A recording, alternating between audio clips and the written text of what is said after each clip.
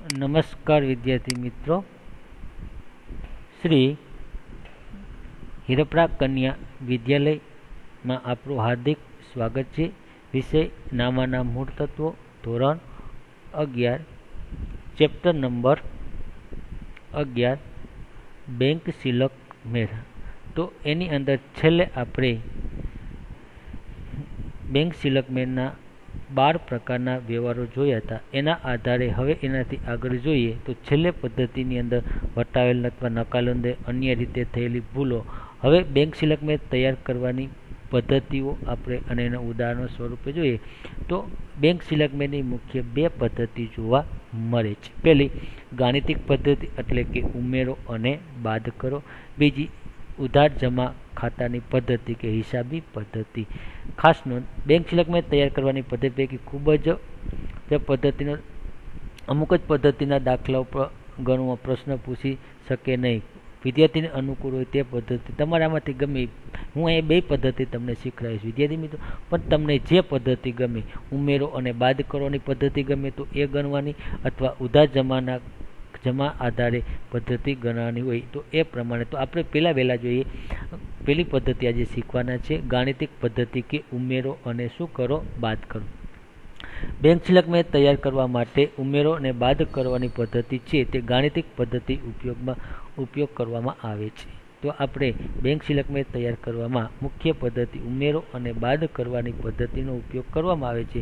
તેમાં તમારે રોકડમેર મુજબની અથવા તો પાસબુક પ્રમાણેની બેંક સિલકમેરમાંથી બેંક સિલકમેરની શરૂઆત કરવાની છે. જ્યારે ઉમેરો અને બાદ કરવો પદ્ધતિ હોય, તો તમારે બેંક સિલકમેન મુજબની બાકી છે, એ પાસબુક પ્રમાણેની બાકી છે, એ પહેલાં તમારે શરૂઆત કરવાની. તમને એક સિલક આપેલી છે કાં શરૂઆતની બેંક સિલક આપેલી હશે, અથવા કાં પાસબુકની. અસ્થિ શરૂ કરવાની. બેંક સિલકમેં ધંધો ધંધા માટે તૈયાર કરવામાં આવે છે. ખાસ વિદ્યાર્થી મિત્રો યાદ રાખજો, બેંક સિલક મેર કોણ તૈયાર કરે છે બેંક સિલક ધંધા દ્વારા તૈયાર, ધંધા માટે તૈયાર કરવા. અહીં બે પક્ષકારો છે, ધંધો અને બેંક. તમારી પાસે કેટલા પક્ષકારો છે? બે, એક ધંધો અને બેંક. તો ધંધાનો ચોપરો એટલે કે રોકડ મેર ખાસ વિદ્યાર્થી મિત્ર, ધંધાનો ચોપરો એટલે શું ગણાશે? રોકડ મેર અને બેંકનો ચોપરો એટલે પાસબુક અને બેંકનો ચોપરો એટલે એને ગણવામાં આવે છે પાસબુક. બેંક સિલેક્ટ તૈયાર કરતી વખતે હિસાબીની કોઈ પણ એક પક્ષ પસંદ કરવામાં આવે છે. ખાસ બેંક ચોપરો એટલે પાસબુક. અને બેંક સિલેક્ટ મેં તૈયાર કરતી વખતે હિસાબી તરીકે તમારે કોઈ પણ એક પક્ષ પસંદ કરવાનો છે. ખાસ વિદ્યાર્થીઓ, જો તમે પક્ષ નક્કી કરશો, પછી જ તમને હિસાબો સાચી રીતે લખી શકશો. અહીં જે ચોપરાની ચોપરાની ચોપરાની સિલકથી બેંક સિલકમેન્ટ કરવા, બનાવવાની શરૂઆત કરવામાં આવે છે, તે પોતાનો પક્ષ ગણાય છે. ખાસ યાદ રાખજો ચોપરાની સિલક એટલે કે બેંક સિલકમેં શરૂ કરવામાં આવે છે, એ પક્ષ પોતાનો ગણાય છે. ચોપરે સિલકની, બેંક સિલકમેં શરૂ કરવામાં આવે, તો જે સિલક આપી છે પોતાનો પક્ષ ગણાય છે અને બીજા ચોપરાને સામેનો પક્ષ ગણાય છે. જો યાદ રાખજો. એક પોતાનો પક્ષ અને એક બીજો. જો બેંક સિલકમેન્ટ બનાવવાની શરૂઆત કરવામાં આવે તો પોતાનો પક્ષ અને બીજાના પક્ષને સામેનો બીજો ચોપડાને સામેનો પક્ષ દાખલા તરીકે જો બેંક સિલેક્ટમેન્ટની શરૂઆતની અથવા પાસબુક પ્રમાણેની બેંક સિલેક્ટમેન્ટ કરવામાં આવે તો પાસબુક આપણો પક્ષ અને રોકડમે સામાનો પક્ષ ગણાય છે. યાદ રાખજો બેંક સિલકમેનની શરૂઆત પાસબુક પ્રમાણેની, જોવાનું બાક આપણે કે સિલક કોની છે? તમારી પાસે પાસબુક પ્રમાણેની સિલક આપેલી હોય, કોની આપેલી હોય? પાસબુક પ્રમાણેની સિલક આપેલી હોય, કરવામાં આવે તો સમજણ, પાસબુક આપણો પક્ષ છે અને રોકડમેર કોનો છે? સામેનો પક્ષ ગણાય છે. પરંતુ જો રોકડમેર રોકડમેરની બેંક સિલક, બેંક સિલકમેરની સિલક આપેલી હોય, પાસબુકની જગ્યાએ શેની આપી હોય? બેંક સિલકમેર આપ્યો હોય, શરૂઆત આપી હોય, તો રોકડમેર આપણો પક્ષ થાય અને પાસબુક સામેનો પક્ષ થતો જોવા મળે છે. તો વિદ્યાર્થી મિત્રો, આ એક યાદ ખાસ રાખવાનું છે. જેની સિલક આપી આપણો પક્ષ અને ઓલો બીજાને આપી સામેનો પક્ષ. બેંક જો, ખાસ યાદ રાખજો, આપણો પક્ષ બેંક પાસબુક હોય તો તો સામેનો પક્ષ ધંધો એટલે કે રોકડ મેર આપણી પાસે રોકડ, ધંધા એટલે કે રોકડ મેરની બાકી હોય, તો સામેનો પક્ષ કયો થાય? પાસબુક. હવે શું કરવાનું? જે બેંક સિલકમેરની શરૂઆત બેંક બેંક બેંક સિલક કરવામાં આવે, તો બેંક સિલકની રકમ પ્લસ ચિહ્ન દર્શાવવામાં આવે છે. જો શરૂઆતની સિલક આપેલી હોય તો પ્લસ બેંક સિલક મેળ આપી હોય અને બેંક ઓવરડ્રાફ્ટ આપ્યો હોય. શું આપ્યું હોય? બેંક ઓવરડ્રાફ્ટ આપ્યું હોય તો માઇનસ નિશાની મૂકવામાં આવે છે. દાખલા કે જો બેંક સિલકમેર બનાવવા માટે રોકડમેર પ્રમાણેની બાકી તે કે બેંક ઓવરડ્રાફ્ટ ધારો કે છ હજાર હોય તો બેંક સિલકમેરની પ્રથમ બાબત નીચે મુજબ નોંધાશે. શ્રી ખાલી જગ્યાનો તારીખ, ખાલી જગ્યા રોજનો બેંક સિલકમેર તો અહીંયા તમારે લખવાનું રોકડ મુજબની બેંક ઓવરડ્રાફ્ટ પણ કેવા કરવાના? માઇનસો સમજાઈ ગયું?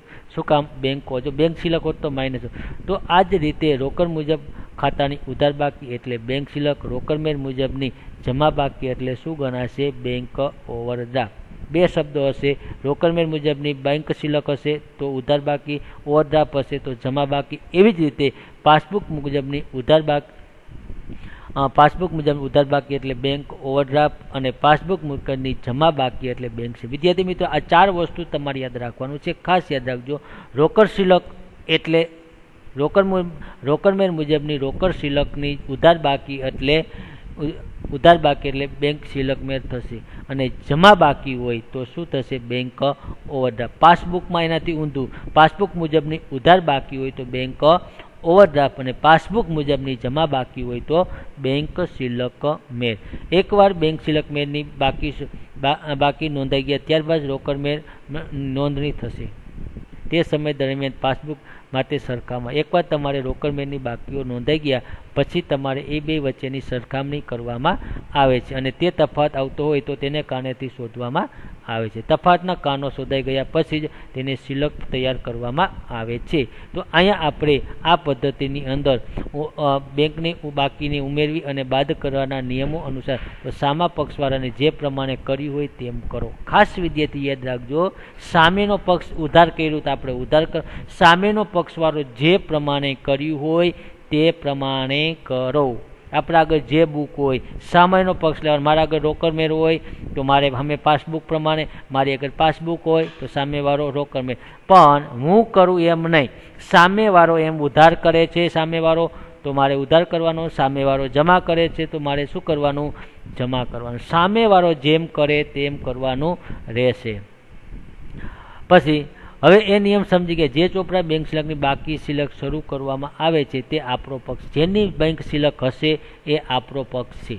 પછી પાસબુક મુજબની હોય તો ભલે અને રોકડમેર મુજબની હોય તો. જો અન્ય સામનો પક્ષ ગણાશે અને સામે અન્ય પક્ષ ગણાશે, તો તેના આધારે તે ગણવામાં આવે છે. દાખલા તરીકે એનું ઉદાહરણ જોતા પહેલાં આજે આપણે આને રીતે જો પાસબુક મુજબની બેંક સિલક છ હજાર તો લખેલો, પરંતુ આપણે કઈ રીતે થાય છે તો એનો આપણે એક ઉદાહરણ જોઈએ. એટલે કઈ રીતે કરતા પહેલાં એનો આપણે એક નમૂનો જોઈશું. ઉદાહરણ પછી જોશું તો અહીંયા પહેલાં આપણે એનો નમૂનો દોરશું. તો તારીખ, ખાલી જગ્યા, રોજનો, ખાલી જગ્યાનો, બેંક સિલક મેળ તો અહીંયા તમારે આ રીતે દોરવાનો. વ્યવહાર નંબર. જે તે પક્ષની પસંદ કરી હોય રોકડમેર અથવા પાસબુક. અહીંયા તમારે લખવાનું રોકડમેર અથવા પાસબુક. પછી રકમ અને રકમ. બે ખાના રકમના કરવાના આવશે. કારણ કે આ ઉમેરો અને આ બાદ ઉમેરાની જે રકમ આવશે ટોટલ આ આ મુખ્ય ખાનું, આ પેટા ખાનું. તો એક, બે ત્રણ અને ચાર ખાના આવશે. પહેલાં વ્યવહારોની નંબર. જે જે તારીખે વ્યવહાર થયો હોય તે. પછી શરૂઆતમાં તમારે અહીંયા ખાલી જગ્યા રાખવાની. એક લીટી. શું કામ કે જે પક્ષ રોકડ મેર હોય તો રોકડ મેળ પછી તમારે ઉમેરો. ઉમેરવામાં તમારે પાંચ, છ લીટી મૂકી અને પછી જગ્યા રાખી અને પછી તમારે લખવાનું બાદ કરો. ઉમેરો એટલે પ્લસ, બાદ કરો એટલે માઇનસ. આ બેમાંથી બાદ કરો એટલે અન્ય પક્ષની અહીંયા તમને બાકી. પહેલા પક્ષમાં ઉમેરો જે ટોટલ આવશે, એક, બે, ત્રણ, ચાર, એ અહીંયા મૂકી દેવાનો.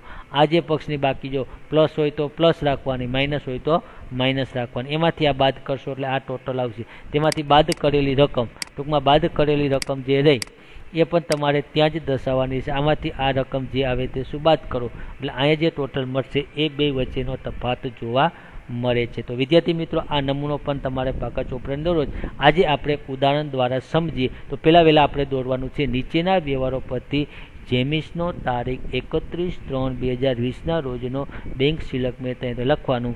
શ્રી જેમિસનો તારીખ એકત્રીસ ત્રણ બે હજાર પંદરના રોજનો બેંક શિલક મેર વ્યવહાર નંબર, વિગત, રકમ અને રકમ. ચાલો વિદ્યાર્થી મિત્રો, આટલું દોડી. આઠક લીટીનું દોરવાનું છે આજથી દસ કારણ કે એક, બે, ત્રણ ચાર, પાંચ વ્યવહારો આપ્યા છે.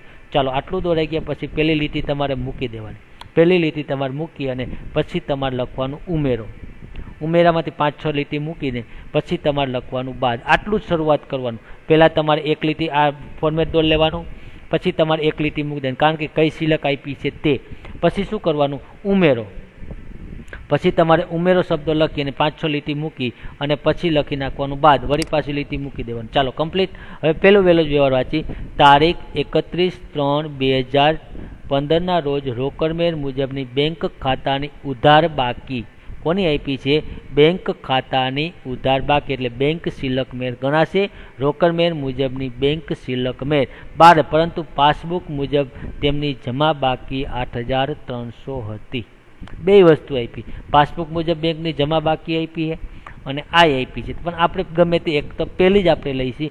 બેંક સિલક મેર મુજબની રોકડમેર મુજબની, બેંક સિલક મેર બાર હજાર તો અહીં લખવાની. રોકડમેર પ્રમાણેની ઉધાર બાકી, બેંક સિલક કેટલા લખશો? બાર હજાર. હવે આપણો પક્ષ કયો થયો? તો કે રોકડમેર મુજબની બેંક સિલક તો સામેનો પક્ષ કયો થયો? તો કે પાસબુક. હવે સામેનો પક્ષવાળો જેમ કે એમ કરવાનું. ચાલો, આટલું બધાને કમ્પ્લીટ પેલા સિલેક્ટ નક્કી કરી લેવાનું. પછી આપણે જોઈએ, પેલો વ્યવહાર. છ હજારનો ચેક આપણું વર્ષ પૂરું થાય એકત્રીસ ત્રણ, ખાસ યાદ રાખજો. છ હજારનો ચેક અઠ્ઠાવીસ ત્રણ, બે હજારનો રોજ બેંકમાં ભર્યો. કેટલી તારીખે ભર્યો? તો કે અઠ્ઠાવીસ ત્રણ, બે હજાર રોજ બેંકમાં ભર્યો. પરંતુ એકત્રીસ ત્રણ, બે હજાર પંદર સુધી તે રકમ જેમિસના ખાતે જમા કરી નથી. શેમાં નથી કરી? તો બેંકે નથી કરી. આપણે કરી. તો એને જમા નથી કરી. સામા પક્ષવાળે શું કર્યું છે? તો કે જમા કરેલ નથી. તો આપણે એ કરે એમ કરવાનું છે. તો એકત્રીસ ત્રણના રોજ આપણે બેંકમાં ભર્યો હતો. એટલે આપણે બેંકમાં ભરીએ એટલે સીધે સીધું આપણે લખ્યો. પરંતુ એકત્રીસ ત્રણ બે હજાર સુધી તે રકમ જેમિસ ખાતે જમા કરી નથી. તો આપણે શું કરવું પડે જમા. તો અહીંયા તમારે લખવાનું. તમારે અહીંયા લખવાનું રહેશે જેમિસ ખાતે તો કઈ રીતે કરેલું છે? તો એની આપણે જોઈએ. તો એની ચર્ચા આપણે નેક્સ્ટ લેક્ચરમાં કરશું. ત્યાં સુધી ઘરમાં રહો.